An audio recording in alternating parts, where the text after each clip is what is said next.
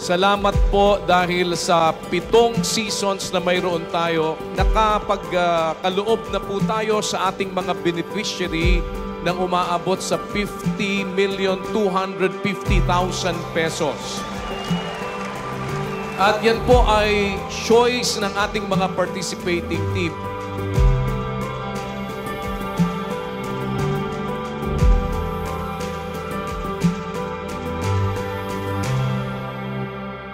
Alam nating lahat ang dahilan bakit tayo nandito. Ang gusto natin, una sa lahat, ay makatulong sa ating mga kapwa-tao na nangangailangan.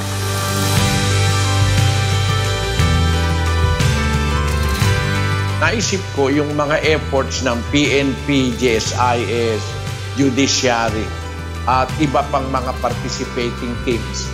Yung kanilang effort na yon, pagkatapos nilang manalo, ibibigay nila yung kanilang napanalunan doon sa charitable institution kung saan magpapakain sa naguguto, magpapainom sa nauuhaw, magpapadamit sa nangangailangan. Ito palang mga bagay na ito ay napakahalaga sa Diyos at sa ating Panginoong Heso Kristo.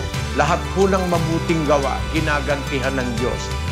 Kahit nakapagpainom lang tayo ng isang basong tubig sa isang taong nauuhaw, ay meron pong gantiyan.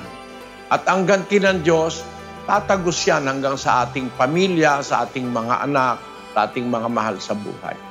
At in totality, maaaring pagpalain ng Diyos ang ating bansa.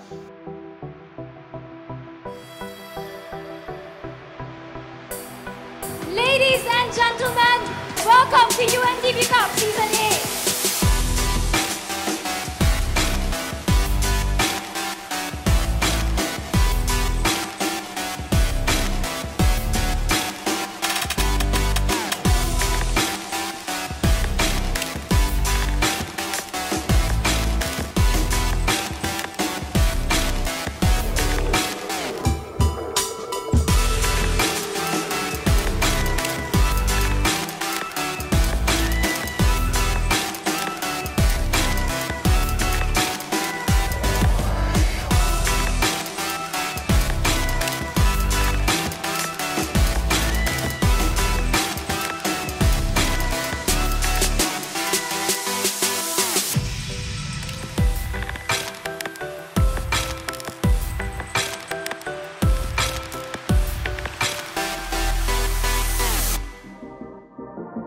Ang UNTV Cup ay katangi-tanging liga.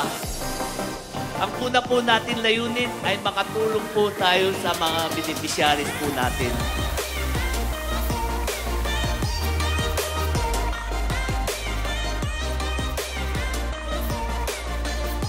At salamat din po dahil sa lahat ng nagpa-participate, wala po talagang talo dito eh. Dahil each participant uh, sa atin pong uh, UNTV Cup, ang bawat team po, manalo man sila, hindi man sila manalo, kahit papaano po ay mayroon silang uh, maiuuwi para uh, maibigay sa kung saan man nila ito gustong gamitin.